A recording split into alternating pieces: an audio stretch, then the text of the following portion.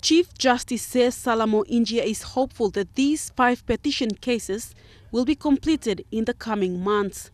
He said there are also other cases of public interest that they expedited.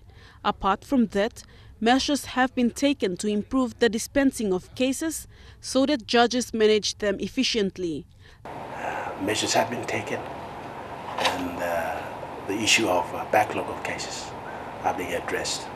And with the increase in the number of judges that we are getting nowadays, that is helping us to move cases along a lot faster than they were uh, some years ago.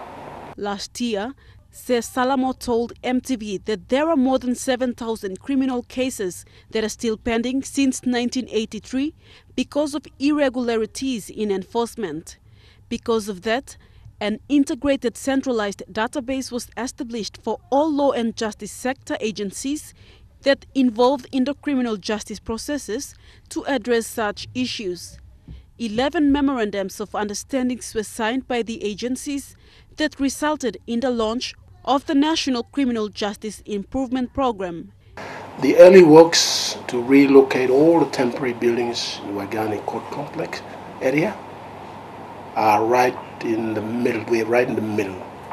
We are into what we call early works phase three and four, which will be the final. We've completed phase one, which is the construction of the road access. A special track was also set up and is managed by the Deputy Chief Justice Sir Gibbs Salika to assist in reducing the number of corruption fraud related cases. Sir Salamo confirmed the cases have been moving faster.